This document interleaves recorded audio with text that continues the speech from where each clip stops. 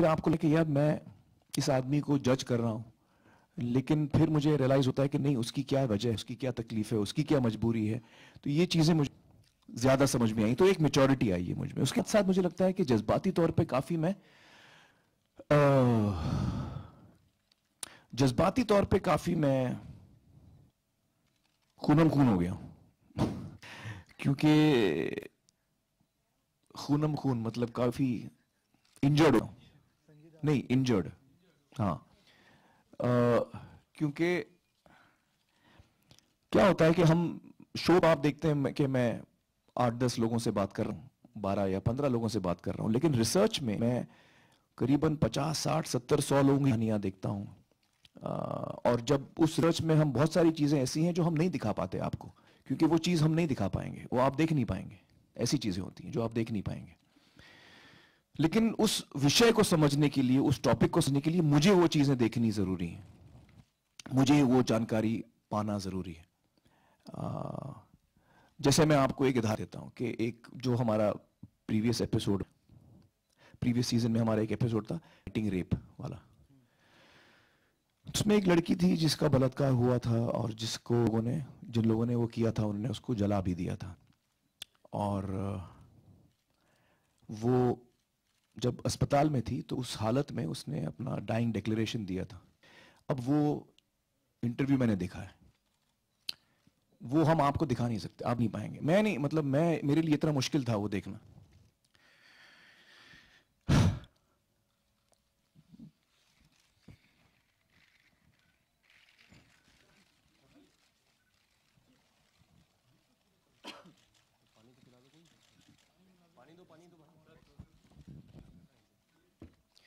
तो बहुत सारी चीज़ें देखी है मैं जो जिसका बहुत गहरा असर हुआ है मुझ पर।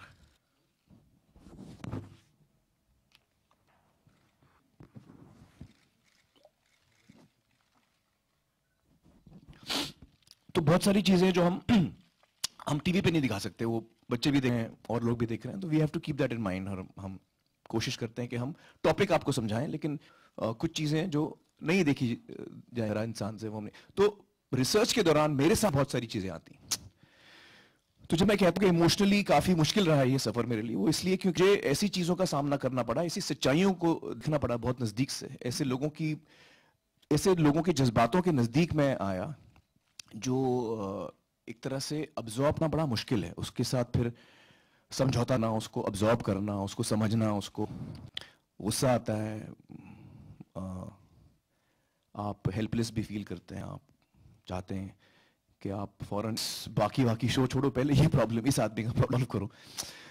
आप वो करना चाहते हैं। तो इमोशनली बहुत मेरे लिए मुश्किल रहा है ये सफ़र आ, मुझे लगता है। सर आप, आपके जब पहला सीज़न तो शो के जो नाम के लिए लेके बहुत सारी डिस्कशन थी ये नहीं होना चाहिए ये नहीं होना चाहिए। सॉरी सॉरी बोलिए। शो का जब पहला सीज़न चल रहा था यू नो जब उसका टिल था अरे यार तुम लोग तो पूछने दो यार सॉरी हाँ। फिर से पूछिए। शो का जो डे था जब पहला प्रेस कॉन्फ्रेंस था। बहुत सारी कंफ्यूजन थी क्या नाम रखना चाहिए क्या टाइटल रखना चाहिए। तो डू थिंक जो ये टाइटल है एकदम परफेक्ट है और हाँ. इंडिया के लिए एक सत्यदेव जयते को जो स्टैंड है बहुत हो गया। मुझे ये टाइटल बड़ा पसंद है। मुझे लगता है ये हमारे देश का है मोटो है सत्यमेव जयते। और हम सबका है ये किसी एक का नहीं है हम सबका है ये ना। तो मैं बड़ा खुश हूँ कि हमने इसी को हमारा टाइटल बनाया। आमिर कहावत है सच कड़वा होता है। जी। और कड़वा होने की वजह से काफ़ी लोग आपसे फिर खुंदक भी खाते हैं लाइक थ्रेट वगैरह जैसे डॉक्टर्स वगैरह का हुआ था एक बार मेडिसिन के लिए लास्ट सीज़न में। तो ऐसे कुछ थ्रेट वगैरह आते हैं कोई ऐसी कुछ ऐसे लोग आपको खाते या कुछ कॉल वॉल नहीं थ्रेट तो मुझे नहीं आया। धमकी तो नहीं आई है मुझे नहीं।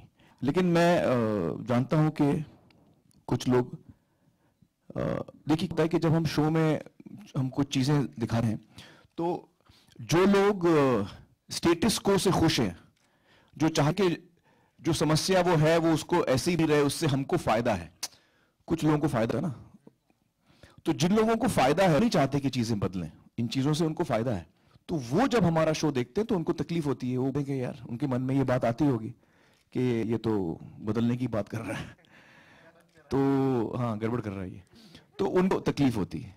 लेकिन जो 99 परसेंट लोग हैं जो तब्दीली चाहते हैं। हिंदुस्तान में आज हर व्यक्ति एक बेहतर ज़िंदगी चाहता है न्याय चाहता है सुरक्षा चाहता है। तो ये जो बेसिक चीज़ एजुकेशन चाहता है हेल्थ केयर स्वास्थ्य सेवाएँ चाहता है तो ये जो बेसिक चीज़ें हर हर इंसान चाहता है और जो हमको मिलना भी चाहिए अ, जिसके लिए हम टैक्सेस देते हैं। हमारा पिछला शो देखा होगा अ, हमने उसमें समझाया। क्योंकि बहुत सारे लोगों को लगता है कि वो टैक्स नहीं देते। हर आदमी टैक्स देता है इनडायरेक्ट आप पेंसिल खरीदें, उस पर टैक्स है।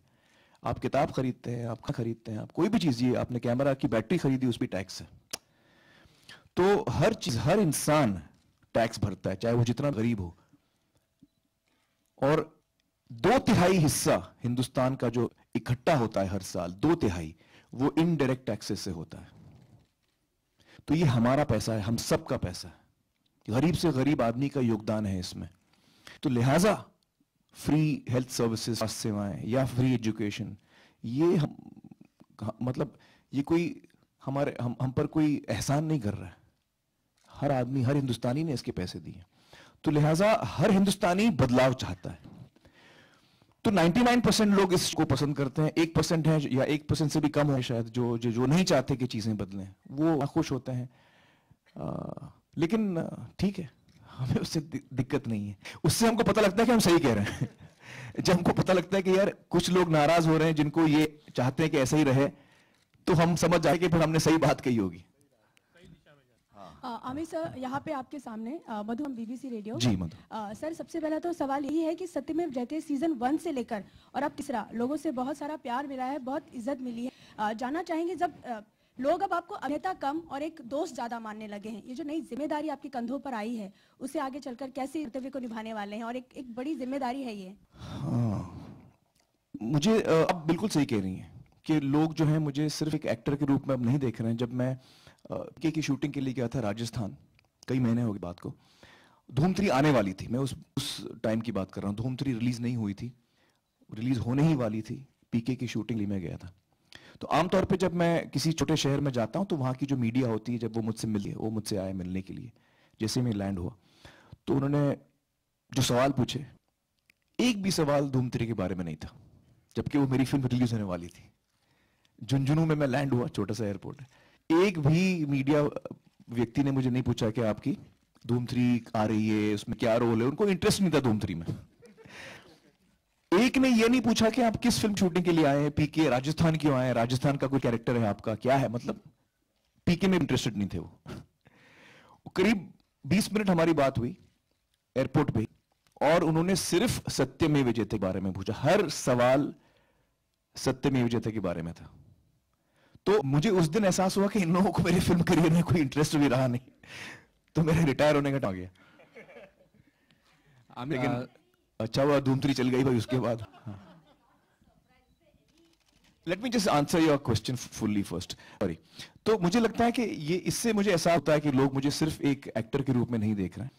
और मुझे खुशी होती है इस बात की इंसान हूँ और मैं सिर्फ़ एक एक्टर नहीं हूँ लेकिन एक, इंसान के तौर पे मैं जो कुछ मुझसे बनता है जो कुछ मुझसे होता है मैं करने की कोशिश कर रहा हूँ। और चूँकि मेरा काम यह है कि मैं लोगों के दिलों को छूता हूँ कहानियों के ज़रिए तो मुझे लगता है मुझे उसी का इस्तेमाल करना चाहिए। जिससे कि शायद मैं लोगों की ज़िंदगी में तब्दीली ला पाऊँ। शायद समाज में एक तब्दीली आ पाए शायद। तो ये कोशिश लेकर हम शुरू हुए थे। और इस ज़िम्मेदारी का मुझे पूरा एहसास है। इसके साथ साथ जो एक पर्सनली मुझ पर ज़िम्मेदारी आती है उसकी वो भी उसका भी एहसास है। मुझे उससे डर भी लगता है क्योंकि अल्टीमेटली मैं भी इंसान हूँ। गलती से भी होती हैं। लेकिन कोशिश करता हूँ मैं कि मैं सही राह पर चलूँ। Amir, as जी, you हाँ, said, जी, uh,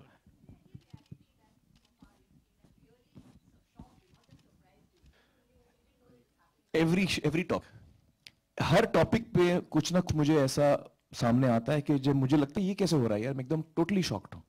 हर टॉपिक में मुझे ये क्योंकि टॉपिक जब हम रिहर्स रिसर्च करते हैं तो मेरी टीम देश भर में अलग अलग वीडियो शूट की लोगों से बात करती है। वो पूरा जो माल है वो मेरे सामने आता है, मैं अपने घर पे बैठ के टीवी पे देखता हूँ। और उस दौरान बहुत सारी चीज़ें एक एक करके खुली हैं हमारे सामने। और जो हमारे शो के डायरेक्टर हैं सत्यजीत भटकल वो आज है हमारे साथ, स्वाति और सत्या। वो उस मटेरियल को थोड़ा ऑर्गेनाइज करते हैं मेरे लिए, इससे पहले कि मैं देखूँ। और फिर वो मेरा रिएक्शन भी देखते हैं। उनको भी मालूम है कि यार ये जब देखे तो इसका क्या रिएक्शन होगा। तो कुछ चीज़ें ऐसी होती हैं जो टोटली शॉकिंग होती है। मुझे लगता है कि कैसे हो सकता है यार? हाउ इज़ पॉसिबल कुछ चीज़ें ऐसे होती हैं जो आपको इतना पेन होता है। आपको लगता है कि इंसान कैसा इतना गिर सकता है? कैसा इतना कठोर हो सकता है? कैसे ये पॉसिबल है कि आप किसी के साथ ऐसा कर सकते हैं? हाउ इज़ पॉसिबल बिलीव नहीं होता। और उसके साथ साथ फिर हम ऐसे भी लोगों से हम मिलते हैं, देखते हैं उनके बारे में। हमको लगता है कि यार ये आदमी इतना कमाल का काम कैसे कर ना इसके पास पैसों की ताकत है, ना इसके पास कोई और पावर है जो नॉर्मल पावर होता है लोगों के पास। कुछ नहीं है, लेकिन ये इंटरनल उसकी इतनी ताकत है कि वो इतना बड़ा काम कर जा रहा है। ये सारी चीज़ें हमको you know we realise that every time her topic पे मैं अलग अलग जज्बातों से मैं ऐसे घूमता हूँ। पहले गुस्सा आता है, फिर मुझे सरप्राइज़ शॉक्ट जाता हूँ, फिर मैं इमोशनल होता हूँ, फिर मैं रोता हूँ, फिर मुझे खुशी भी होती है। मुझे लगता है कि यार, क्यों कर रहे हैं ये? कुछ नहीं होगा। फिर मैं व्यक्ति का इंटरव्यू देखता हूँ, मुझे लगता है हाँ यार तो ये बंदा देखो कैसा निकला। तो बहुत सारे इमोशन से मैं गुजरता हूँ रिसर्च के दौरान। और हर टॉप में बहुत सारे दिन जाते हैं। जब मैं पूरी तरह से टॉपिक से वाकिफ नहीं हूँ क्योंकि it's not just the video interviews हम लोग फिर उसके लीगल पेपर्स भी पढ़ते हैं कि इस पे लॉ क्या है? लॉ क्या कहता है? तो वी हिस्ट्री क्या है? ये कहाँ से शुरू हुआ? कन्या भ्रूण हत्या शुरू कहाँ से हुआ? तो ये सारी चीज़ें। Uh, फिर एक, uh, this time you said एक- कि the episode uh, there would be some changes in एक एपिसोड के बाद एक घंटा लाइव रहेगा तो उसका टोटल टाइम ड्यूरेशन कैसा रहेगा in fact like how much would be time duration for the entire show है हमारा डेढ़ घंटे का शो है एज यूजुअल और जो उसका लाइव एलिमेंट है वो एक घंटे का है। तो जो लोग जुड़ना चाहें जो लोग बातचीत करना चाहें जो लोग उस टॉपिक को उसी वक्त गर्मा गर्म डिस्कस करना चाहें लाइव लाइव लाइव लाइव मतलब शो खत्म हुआ ठाक मैं लाइव हूँ। क्रिकेट मैच कैसे होता है लाइव एकदम क्रिकेट मैच जैसा live Amir, Amir, uh, ever since we gained uh, uh, freedom from the clutches of the Britishers, ours has been, uh, uh, our economic has been uh, developing economy, you know, and the सवाल सबसे बड़ा सवाल है रोटी कपड़ा मकान poverty. तो इसके uh, changes on par with this, would we be have, would you uh, show some issue ताकि हमारे यहाँ इतना changes आ जाए कि issues ही उठे इससे कनेक्टेड पावर्टी से सेल्फ सफिशिएंट हो every individual Uh, well, that is the ultimate. But I don't know whether there's any easy way to reach that that place. See, what what we believe. सत्य में जयते में जो जितने लोग काम कर रहे हैं सत्या स्वाति मैं लैंसी जितने हम सब लोग काम कर रहे हैं, हमारी क्या सोच? हमारी सोच ये है कि हमारे देश में, हमारे लोगों में बहुत सारी प्रॉब्लम्स हैं इश्यूज़ हैं, और एक तरीका होता है कि ऊपर से हम उनको सॉल्व करने की कोशिश करें कोई कानून आ गया लॉ ला दिया कि ऐसा नहीं करो सब लोग ऐसे बंद कर दो कल से। तो ऊपर से एक तरीका होता है। एक तरीका होता है नीचे से। नीचे से मतलब ग्रास रूट लेवल से। मतलब आप लोगों का मन बदलें। अगर मैंने आपका मन बदल दिया फिर आपको कानून की ज़रूरत नहीं है। फिर वो कानून है या नहीं है? फॉर एग्ज़ाम्पल हम में से कितने लोग हैं जो सीट बेल्ट पहन के जाते हैं गाड़ी में? कानून है सीट बेल्ट का। तो हाँ, आप पहनते हैं? वेरी गुड मैं भी पहनता हूँ। तो मेरे बहुत सारे दोस्त हैं। पुलिस को देखते हैं, कड़ाक, उन्होंने सीट बेल्ट पहन लिया। तो उनको लगता है वो बड़े स्मार्ट हो रहे हैं। देखा, पुलिस वाले से पहले मैंने सीट बेल्ट पहन लिया। मैं बोलता हूँ, बेवकूफ़, तुम सीट बेल्ट पहन रहे हो पुलिस वाले के लिए। मैं सीट बेल्ट पहन रहा हूँ अपने लिए। पुलिस मुझे पकड़े नहीं पकड़े, मुझे अपनी जान बचानी है। इसलिए सीट बेल्ट पहनो कि तुम्हारी जान बचेगी, खुदा ना खास्ता एक्सीडेंट हो जाए, तुम्हारी जान बच जाएगी। इसलिए नहीं कि तुम पुलिस वाले को तुम तुम पे फाइन मार रहा तो ये जब मैं आपका मन बदलूँगा तब आप पुलिस वाले के लिए सीट बेल्ट नहीं पहनेंगे वो आप अपने लिए पहनेंगे। फिर वो लॉ की ज़रूरत नहीं पड़ेगी आपको। आप समझ रहे मैं क्या बोल रहा हूँ? तो हमारी कोशिश है कि हम नीचे से काम करें। और जो भी मुद्दा हो वो हम लोगों का मन बदलें जज्बाती तौर पे हम आप पर असर करें। तो ये हमारी आपको कोशिश है। अगर एक दिन का प्राइम मिनिस्टर बनाया जाए तो किस तरह बदलाव लाएँगे? एक दिन में तो खैर बदलाव लाने की कोशिश भी फजूल है। फिर भी सबसे पहले क्या जहन में आएगा आपके कि हमारे देशवासी अच्छे हो जाएँ सशक्त हो जाएँ? हर तरह से कोई मुझे लगता है कि हमारे देश ने एक अच्छा प्रधानमंत्री चुना है। हम उनकी बातें सुने वो बेहतर होगा। और वो जो हमें बताएँ एज अ लीडर हम उनको फॉलो करें। जहाँ तक मेरा सवाल है मैं एक कम्युनिकेटर हूँ। मैं अपने आप को एक क्रिएटिव इंसान के रूप में देखता हूँ। और मेरा ये मानना है कि एक क्रिएटिव इंसान की जो ज़िम्मेदारी होती है वो सिर्फ़ आपका मनोरंजन करने की नहीं होती बल्कि समाज में एक मॉरल फाइबर को बिल्ड करने की ज़िम्मेदारी हमारी होती है। हमारे कहानियों के ज़रिए हम बच्चों पर क्या असर डालते हैं उनके सोच विचार हम कैसे बनाते हैं। तो जो सोशल फाइबर है उसको हम बिल्ड करते हैं ये हमारी ज़िम्मेदारी है ये मेरा मानना है। आ, हम क्या सीख दे रहे हैं हम किस तरह के जज्बात बच्चों में पैदा कर रहे हैं। हम लड़कों को क्या सिखा रहे हैं? हम लड़कों को क्या सिखा रहे हैं? तो ये सारी चीज़ें हैं। तो एज अ क्रिएटिव पर्सन चाहे आप एक्टर हो आप पेंटर हो आप पोएट हो आप म्यूजिशियन हो अलग अलग क्रिएटिव लोग हैं। अ, मुझे लगता है कि हर क्रिएटिव इंसान की ज़िम्मेदारी भी होती है। न सिर्फ़ आपको मनोरंजन आपका मनोरंजन करना लेकिन उसके साथ साथ आपको एक बेहतर समाज बनाने की कोशिश करना उस पर एक असर अच्छा असर डालने की कोशिश करना। आमिर श्वेताब एबीपी न्यूज़ से। जी, जी। आमिर जैसे आपने ज़िक्र किया अभी कि देश ने एक अच्छा प्रधानमंत्री चुना है। पिछले जब सीज़न शुरू हुआ था सत्यमेव जयते का तो उस वक्त भी आप केंद्र में भी मंत्रियों से मिले थे उस मुद्दे को लेकर जिसका असर हो रहा था जिसपे कई कानून बनने की भी बात हुई थी। इस इस सीज़न में दो सवाल मैं आपसे जानना चाहूँगा। ये आप सीज़न कब लेके आ रहे हैं? और नई सरकार के आने के साथ क्या आप नए मुद्दे जो उठाएँगे उस पर भी सरकार से सहयोग की अपेक्षा आपको है अ, उस मुद्दे को लेकर? जी। अ, पहला सवाल है आपका हमारा शो कब शुरू हो रहा है? 21 सितंबर जो संडे है 21 सितंबर को हमारा शो शुरू होगा। पहला शो पहला एपिसोड तो हर संडे 11 बजे जैसे हम आते हैं हर संडे 11 बजे 21 सितंबर से। छह एपिसोड्स हैं इस दफ़ा तो सितंबर में दो संडे हैं और फिर अक्टूबर के चार संडे। तो अक्टूबर के आखिर तक ये चलेगा सीज़न हमारा। अ, हम हमेशा अपेक्षा रखते हैं सरकार से चाहे वो केंद्र सरकार हो या राज्य सरकारें हों। और हमारी कोशिश रहती है कि हम जो कुछ हमारे सामने आया है हम उनके साथ भी बांटें। तो अक्सर मैंने राज्य सरकारों को और इस हाल ही में मैं प्रधानमंत्री जी से भी मिला तो हमारे सामने जो कुछ आता है हम उनके साथ शेयर करने की कोशिश करते हैं। और हम चाहते हैं कि क्योंकि हम हमने हम सबने हमारी सरकारों को चुना है, चाहे वो केंद्र सरकार हो या राज्य सरकारें हों। तो हमारे रिप्रेजेंटेटिव्स हैं वो और एक बड़ी तादाद में जो लोग हमारा शो देख रहे हैं और जो हमारे शो पे मिस्ड कॉल्स के ज़रिए या एसएमएस के ज़रिए जो मैसेजेस हमको भेजते हैं, किसी भी एक मुद्दे को लेकर जो एक हम सवाल पूछते हैं, उस पर हमको जवाब आता है। तो वो हम शेयर करते हैं रेलिवेंट अथॉरिटीज से, चाहे वो केंद्र सरकार हो, राज्य सरकारें हो म्यूनिसपैलिटीज हो, उनके साथ हम शेयर करते हैं और हमारी कोशिश रहती है कि हम उनका ध्यान उन मुद्दों पर लाएँ और हमारी उम्मीद उनसे रहती है कि वो सही कदम उठाएँ। और एक सवाल और आपसे जानना चाहेंगे कि पहले आपने जब सीज़न शुरू हुआ था सत्यमेव जयते का उस वक्त आपने फ़िल्म और एड्स उस वक्त आपने टेलीविज़न पे बंद कर दिए थे ऐसा कहा गया था कि आमिर पूरी तरह सिर्फ़ सत्यमेव जयते के बारे में ही हो। क्या वो हाँ अभी भी चालू है मेरा कोई एड्स नहीं है। मेरे एड सिर्फ़ शायद वो एक कुपोषण का मैं कैंपेन मैंने केंद्र सरकार के लिए किया था। वो शायद कहीं अभी भी दिखाया जा रहा होगा तो दिखाया जा रहा होगा लेकिन और कोई मैं वो तो पब्लिक सर्विस फ़िल्म थी।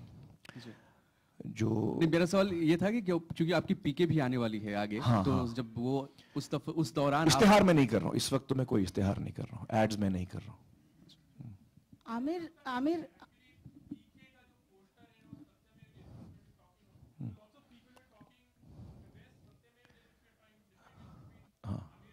हाँ। हम्म, बहुत फ़र्क नज़र आता है। जब आप फ़िल्म देखेंगे आपको बिल्कुल फ़र्क नज़र नहीं आएगा।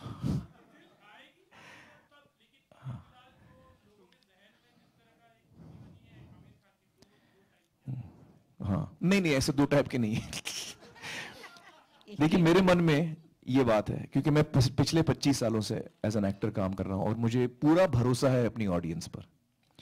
तो जो दो तीन लोग जो केस कर रहे हैं ना, उनको भूल जाइए।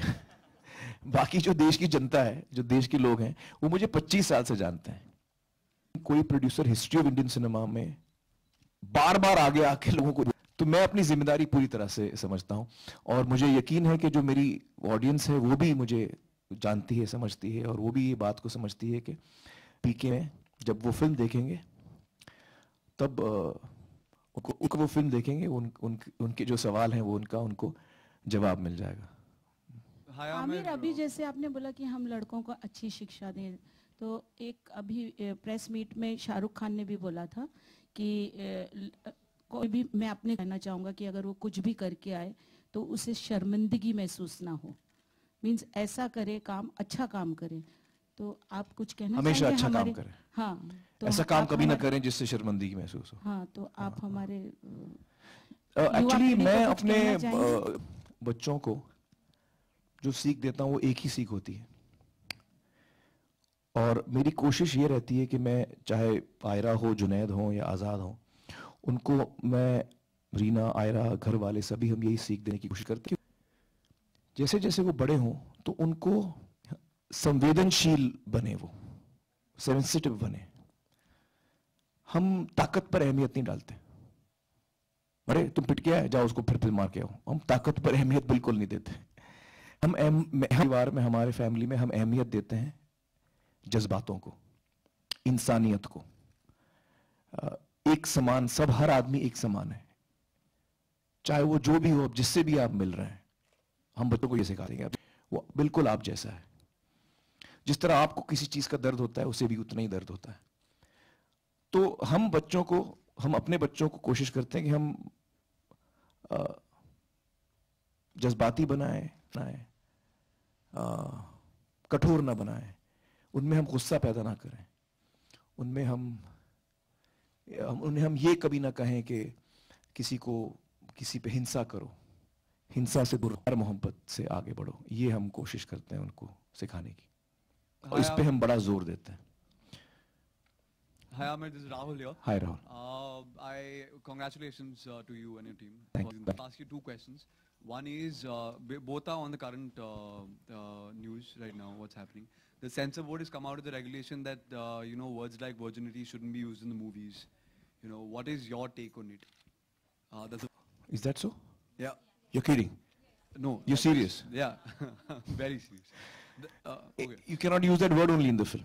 No, like words like these, uh, which are vulgar. Matlab, in a in a you film or in an adult film or for, for any film? For is there a no, is, is there uh, a is there a qualification to it or no? No, there's no qualification to it as of now. As of now. Everything is just taken in isolation, printed, and then everybody starts believing it is a fact. so let's I wait and have- understand exactly I have Bhavna is been right. on the advisory panel of censor board और ऐसा कुछ नहीं है कि you can't use the word virgin as far as I know. Now he is saying that a new guideline has come about, in which case first we have to investigate Yeah. if the guideline has come about and not make it And a what does it generic exactly say? statement. Yes. I agree with Bhavna. I think we should just be patient, see exactly what the guideline says, and then I can respond to you. But I, I, I do believe that, to uh, I do believe that, uh, you know, in general, I can answer in general. In general, I do believe that there are certain words which I would not like my own children to hear. And which is why I would uh, be sensitive towards other people's children as well in, in what kind of uh, language we use in our films. And in, in case I want to use those kind of words or language, then I would make sure my film is adult and is appropriately advertised as, as, a, as an adult film so that people come to know properly that it is an adult film. Then they can take their decision. I'll complete my answer. And other than that, I believe that uh, there should be freedom of speech. If I'm showing a film to an adult person, then he or she is old enough to decide whether they want to see the film or not, and they can choose not to. Uh, if they find that it's something that's objectionable, they can not see the film. You know, you don't need to censor it from them. Yes, yes. Amir, uh, I wanted to mention something here. Mardani has been given an A rating and you have gone on Twitter and praised the film. And not only the film, the film's subject as well, which is very bold. Not only bold, probably everyone needs to see a film like that, but the censor board has given it an A certificate and people can't see the film and uh, Rani is working on, you know, getting a recertification for the film. So what do you have to say on that? Well, I, I, there are some words in the film that I would not want my children to see or hear. I think there is, there are words in the film. So I think that uh, personally, I'm giving my personal response that if it's a film that I would not want young children to watch because there's language used in that. I also feel that very small children should not see violence of this kind. There's a shot of a finger getting cut. I mean, there's, you know, it's not shown, but it is. I don't want a eight-year-old child to see that. But I think that's, I think, I, I know Rani may have No, different to opinion. Can I just complete what I'm saying? Yeah, yeah, sure. You know, Rani may have a different opinion, and I respect Rani very, very highly. She's a very close friend of mine. I've seen the film, but I feel that uh, the film does have a certain amount of violence.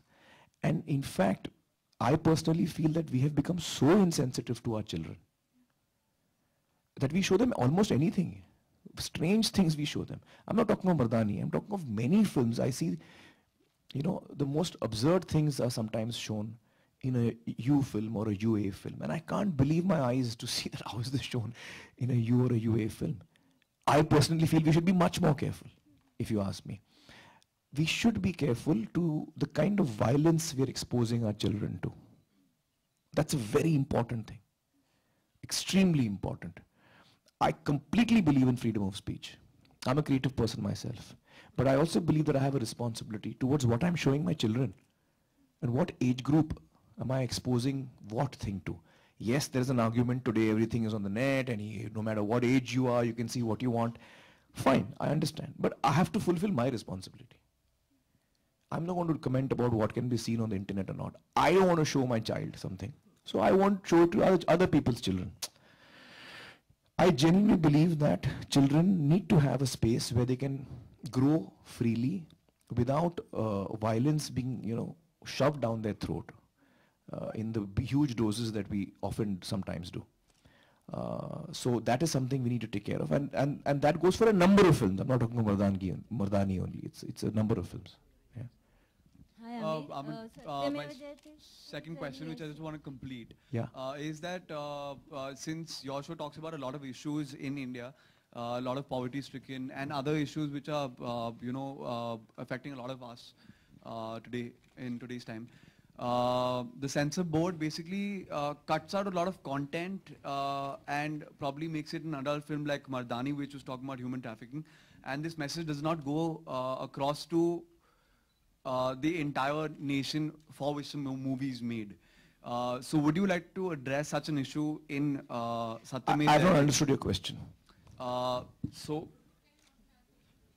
sorry? So, uh, uh, would you like to address this issue in Satyamev Jayate where the Censorship. Censorship. Censorship uh, is an issue that comes pretty low in our priority. I believe. Okay. Censorship comes pretty at this point of time. It comes pretty low in our priority. I would I would imagine. Uh, नहीं इस वक्त directly तो नहीं है बॉलीवुड के साथ कोई लेकिन मैं क्यों बता रहा हूँ आप लोगों को ये सब Amir, uh, right here in the center here. Um, Sakhi from uh, Headlines Today and Aaj Tak. I I just want to ask you, uh, Shwet- Shwetab from ABP asked you about the new government coming in, and you know uh, the new government is al- al- already obviously doing a lot in their power to change things. Um, you know, Narendra Modi just gave out a very uh, poignant speech on 15th August where he talked about various issues which is not known for a prime minister to come out and say on a 15th August speech at you know Lal Killa. He talked about cleanliness. He talked about um, um, you know asking uh, you know the sons of the country what they're doing instead of asking the girls. What are those main issues that you yourself, as an individual who is conducting such a show uh, and a public figure, would like the government to take head on at this point in time? four issues healthcare public health public health is a very very important issue to a bulk of the country so for me the four issues are public health education uh, the justice system and law and order. Because these are the four basic things that any individual needs. I need security. I need to feel safe for myself and for my loved ones. So if I can get security, if I can make sure that my children get good education, if I can make sure that if one of us falls ill, we will get good treatment without having to spend lakhs of rupees. And if someone ever is unfair to me, or cheats me, or harms me in any way, then I will in fact get justice. So these are the four things that I would really uh, feel which are very, very fundamental to any society, not just our society, fundamental to any society. Security, education, healthcare, and justice. Also, Amir, um, you know, a lot of corporates uh, uh, involve themselves in, you know, corporate social responsibility, a lot of CSR activities, and they, uh, they're usually connected to NGOs, and there are lots of international NGOs like Greenpeace and Amnesty who are doing uh, all that they can. Do you think the corporates need to probably uh, join hands with the government and with uh, shows like these and come forward and do what they can? Well, I think all of us have to. I think corporates have their own responsibility and corporates are also made up of human beings like you and me.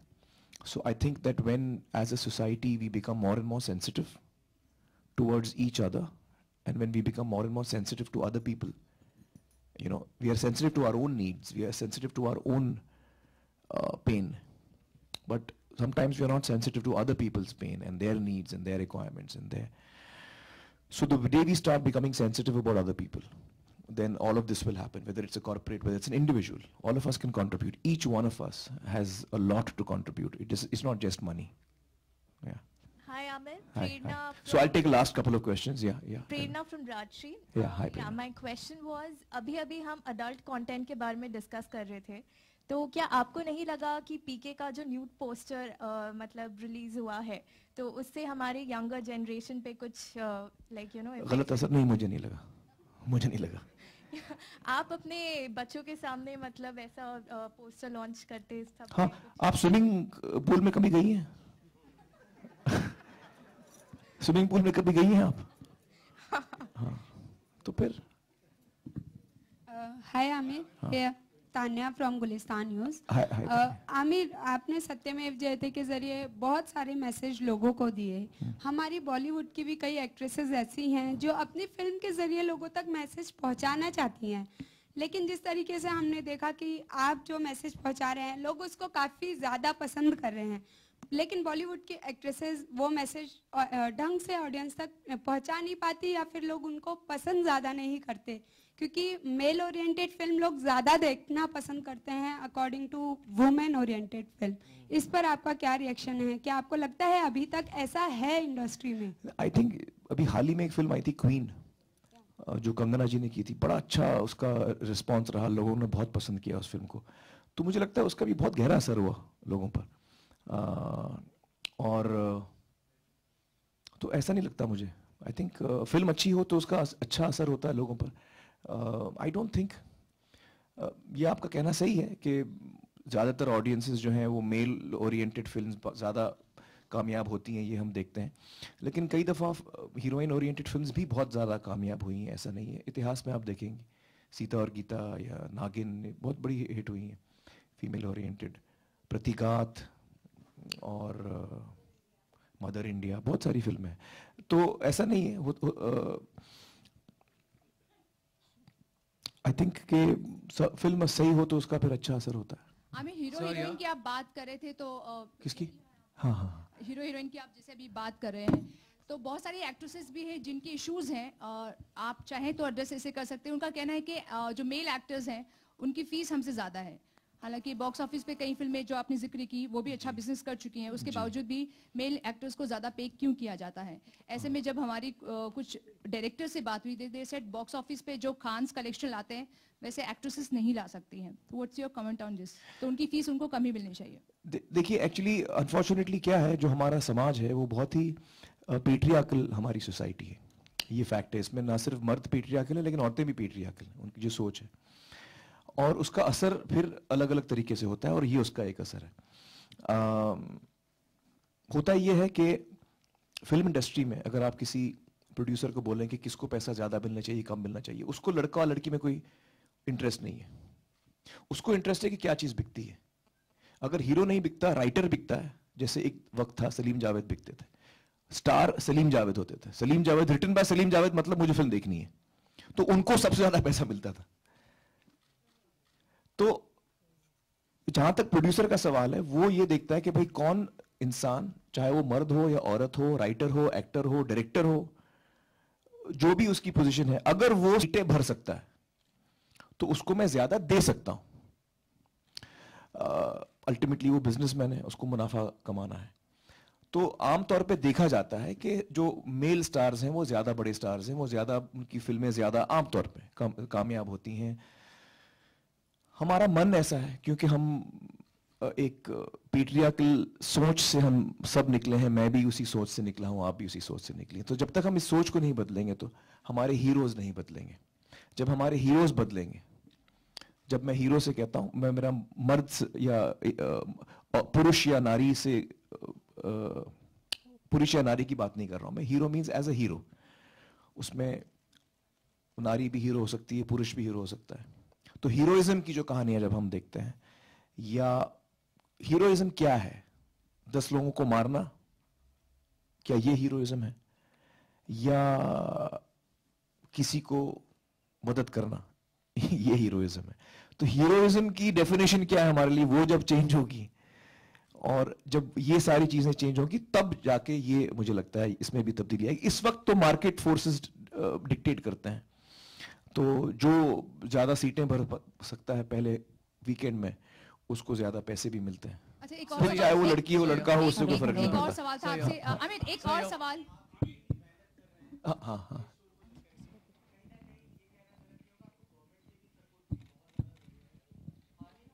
Government support की। मुझे लगता है कि नहीं हमारे show में तो हमें गवर्नमेंट सपोर्ट की ज़रूरत नहीं है इस वक्त लेकिन मुद्दों में सरकारों का बड़ा योगदान है और होना चाहिए और हम उम्मीद भी करते हैं चाहे वो राज्य सरकारें हों या केंद्र सरकार हो तो इन सारे मुद्दों में बहुत ही बड़ा हाथ है सरकारों का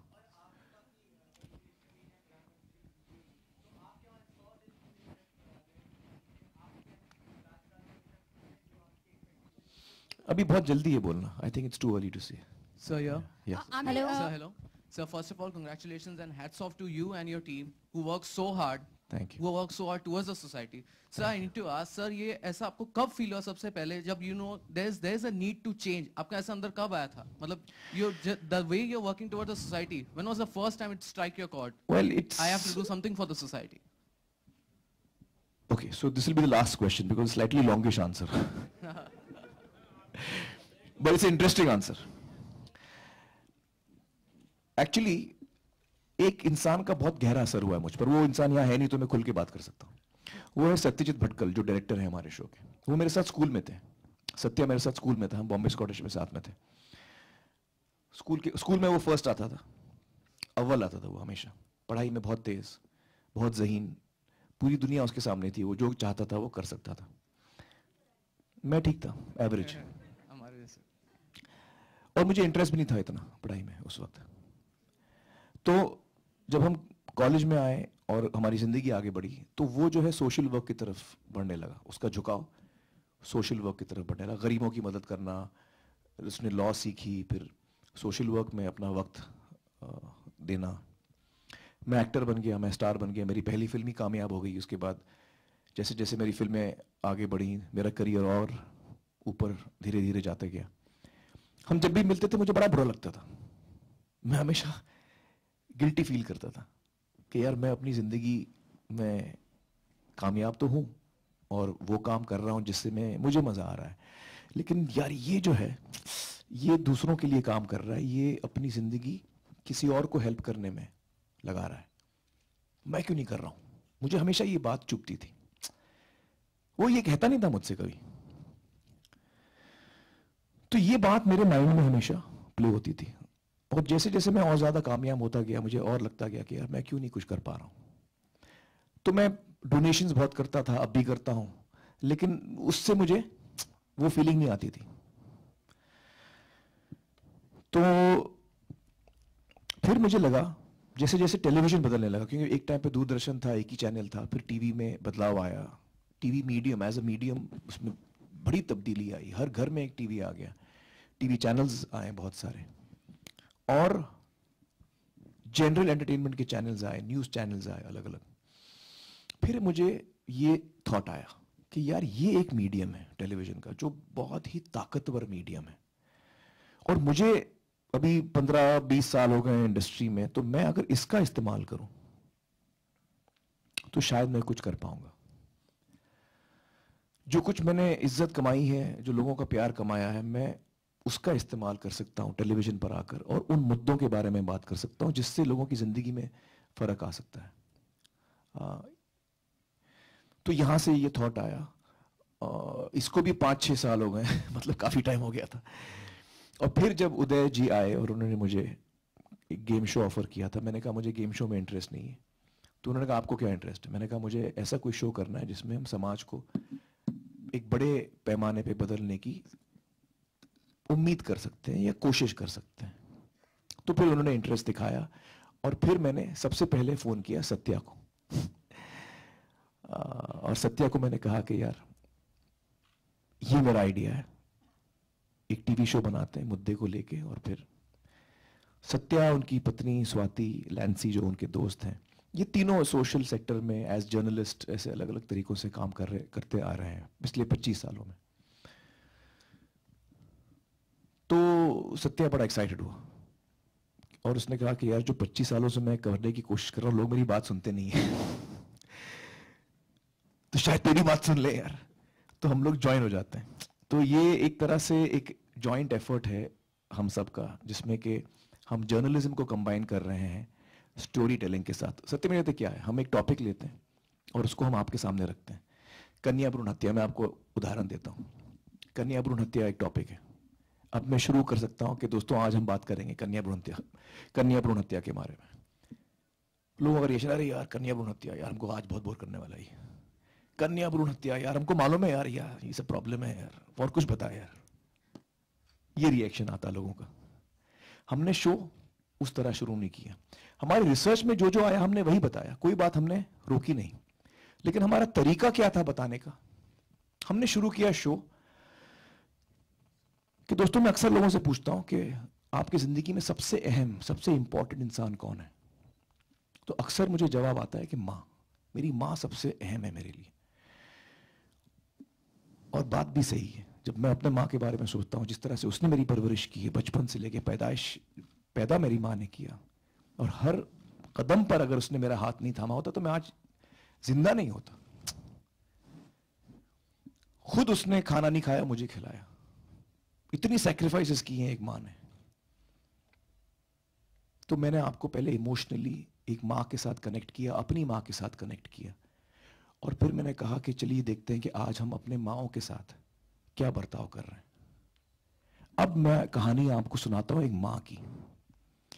आपका देखने का नज़रिया बदल जाता है। अगर मैं आपको बोलूँ कन्या भ्रूण हत्या में एक महिला है जिसपे अत्याचार हुआ है तो आप बोलेगा एक महिला है जिसपे अत्याचार हुआ है। ये महिला नहीं है, ये माँ है।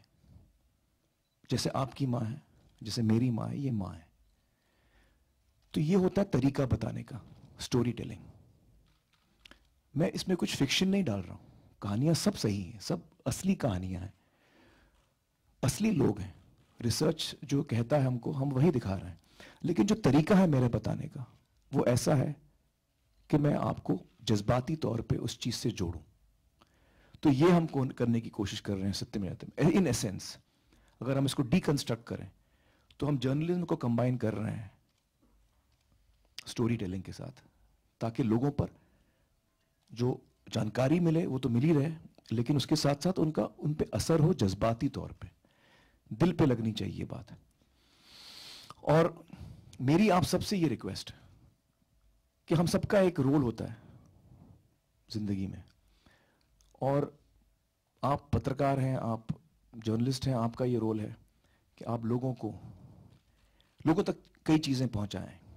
हम ये जो कोशिश कर रहे हैं सत्य में जयते में आ, पता नहीं हम लोग किस हद तक कामयाब होंगे लेकिन यकीनन एक शुरुआत हुई है यकीनन इसका असर हुआ है। आ, और इससे हमें बड़ी ताकत मिली है कि बदलना मुमकिन है चीज़ों में एक्चुअली तब्दीली आना मुमकिन है। अगर महाराष्ट्र में फीमेल फीटिसाइड का जो आंकड़ा है रेशियो लड़कियों का, लड़कों के मुकाबले 890 अगेंस्ट थाउज़ेंड वो अगर 950 हो जाएगा 50 पॉइंट बढ़ेगा, बहुत बड़ी बात है। मतलब नीचे जा रहा था वो। वो रुक के अगर ऊपर आया है तो ये बहुत बड़ी बात है। और ये अभी तक सिर्फ़ महाराष्ट्र ने रिवील किया, बाकी स्टेट्स राज्यों का भी आएगा नंबर और मुझे यकीन है कि वहाँ भी आप देखेंगे कि ये नंबर ऊपर गया है। ये मुझे, ये भरोसा है मुझे। तो मुमकिन है। ये मेरी बिलीफ है कि ये मुमकिन है और इस बिलीफ को मैं चाहूँगा कि आप भी लोगों तक पहुंचाएँ। बहुत हो गया कि हम लोग जो निराश होकर हर चीज़ हर चीज़ में हम निराशा देखते हैं। इससे हमको थोड़ा निकलना है। हर चीज़ में हम निराशा ना देखें। हम हर चीज़ में उम्मीद देखें। उम्मीद से ही दुनिया कायम है और उम्मीद से